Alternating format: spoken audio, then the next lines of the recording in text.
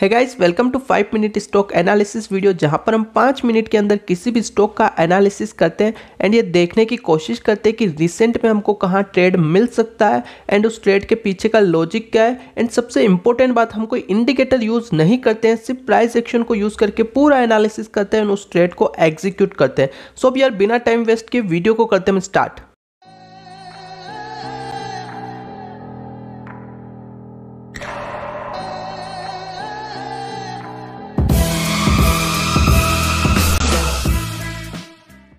सो हम आ चुके हैं टाटा कम्युनिकेशन के डेली टाइम फ्रेम के चार्ट के ऊपर। आज हमको काफ़ी अच्छी तेज़ी इसमें देखने को मिल रही है।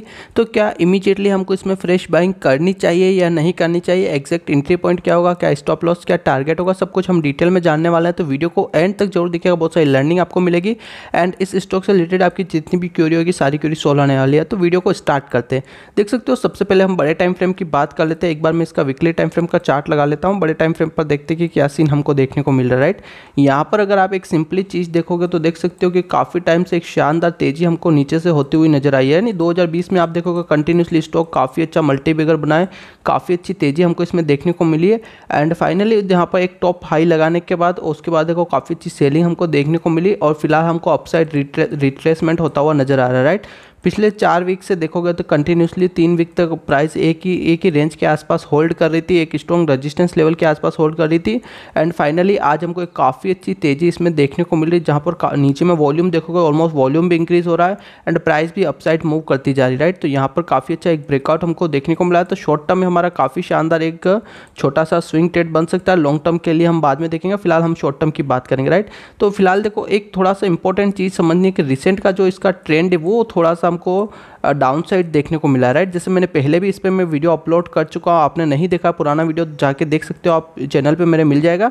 एंड यहाँ पर देख सकते हो पर्टिकुलर इस पॉइंट तक ये अप ट्रेंड के अंदर था फिर उसके बाद देखो ये जो सपोर्ट लेवल था प्राइस ने फाइनली इसको ब्रेक किया राइट इसको ब्रेक करने के बाद अगेन हमको रिट्रेसमेंट देखने को मिल रहा है राइट तो अगर इसमें अगर कहीं पर भी सेलिंग प्रेशर आता है तो डेफिनेटली आपको इसको इग्नोर करना पड़ेगा क्योंकि थोड़ा सा इसका जो मेजर ट्रेंड है वो थोड़ा सा बेरिश ट्रेंड हमको यहाँ पर पर्टिकुलर इस फ़ील्ड इस, इस पॉइंट से देखने को मिला राइट तो हो सकता है यहाँ से डेफिनेटली ये डाउन ट्रेंड में थोड़ा सा देखने को मिला, लेकिन फिर से अप ट्रेंड में कन्वर्ट हो सकता है तो हमको वो चीज़ जज नहीं करनी राइट सो अब हम चलते हैं छोटे टाइम फ्रेम छोटे टाइम फ्रेम पर डेली टाइम फ्रेम पर एनालिसिस करते राइट सबसे पहले मेजर ट्रेंड मेजर सिचुएशन देख लेते हैं इसका।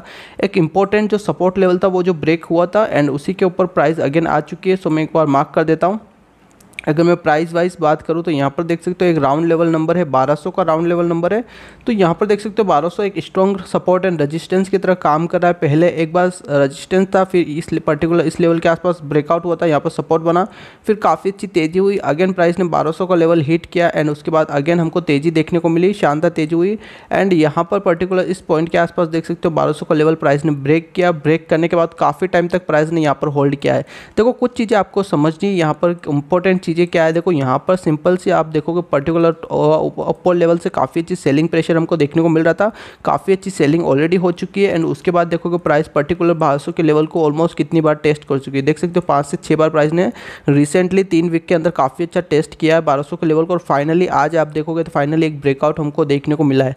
तो शॉर्ट टर्म में हमारा काफ़ी अच्छा एक स्विंग ट्रेड बनने वाला है यहाँ पर एंड यहाँ पर देख सकते हो कि यहाँ पर पर्टिकुलर इस लेवल के आसपास एक ट्राइंगल पैटर्न हमको देखने को मिला है, जहाँ पर हाई हायर हाई हमको एक बनता हुआ नज़र आया राइट तो मैं वो छोटे टाइम फ्रेम पर दिखाऊँगा तो आपको अच्छे से देख, देखने को मिलेगा। सो मैं अवली टाइम फ्रेम का चार्ट लगा लेता हूँ एंड सिंपली अगर यहाँ पर आप देखोगे तो मैं एक परफेक्ट ट्राइंगल पैटर्न आपको बना के दिखा देता हूँ।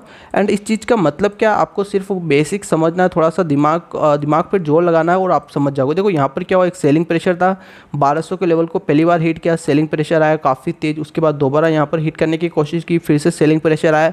लेकिन प्रीवियस जो सेलिंग प्रेशर था उससे कम था फिर अगेन प्राइस ने हिट किया फिर से सेलिंग प्रेशर लेकिन थोड़ा सा कम इस बार।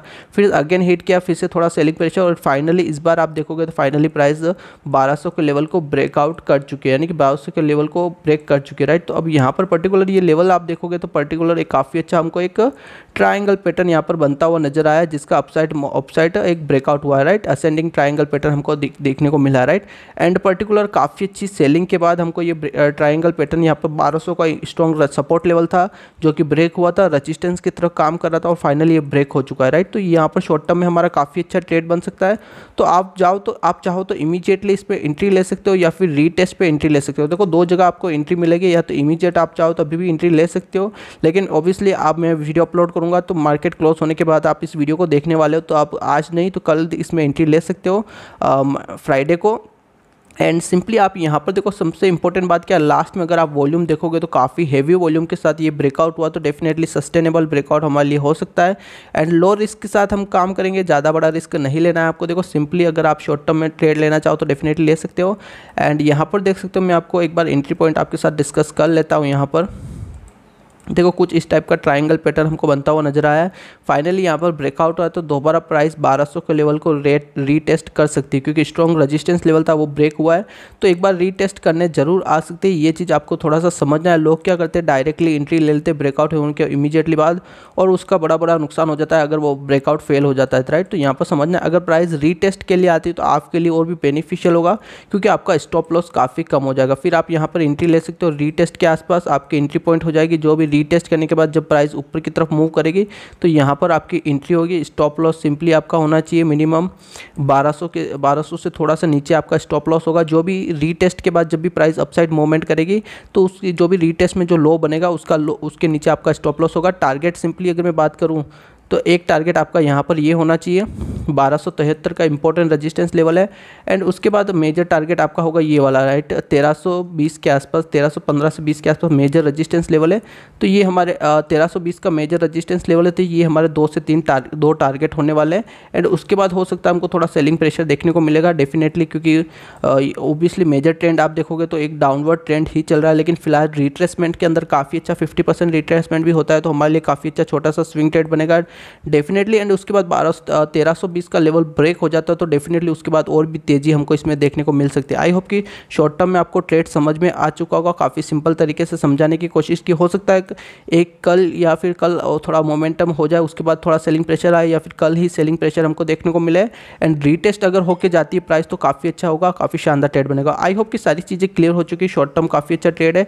एंड डेफिनेटली तेरह बीस का लेवल ब्रेक होगा तो फिर हम टारगेट और भी बड़ा कर सकते हैं। फिर ऑल टाइम ऑल टाइम की तरफ़ ऑल टाइम हाई की तरफ़ अपनी प्राइस मूव कर सकते हैं। आई होप कि सारी चीज़ें क्लियर हो चुकी होगी। सो ये वीडियो आपको कैसा लगा कमेंट बॉक्स में ज़रूर बताएँ। ऐसे लेटेस्ट लॉजिकल ट्रेडिंग वीडियोस के लिए चैनल को सब्सक्राइब करके बेलाइकन को हिट करें ताकि ऐसे स्विंग ट्रेडिंग वीडियोस आपसे मिस ना हो। टाइम पे इन सारी चीज़ों को देख पाओ, देखने के बाद सारी चीज़ों को एग्जीक्यूट कर पाओ। सो मिलते हैं किसी नेक्स्ट वीडियो में किसी अच्छे स्टॉक के साथ।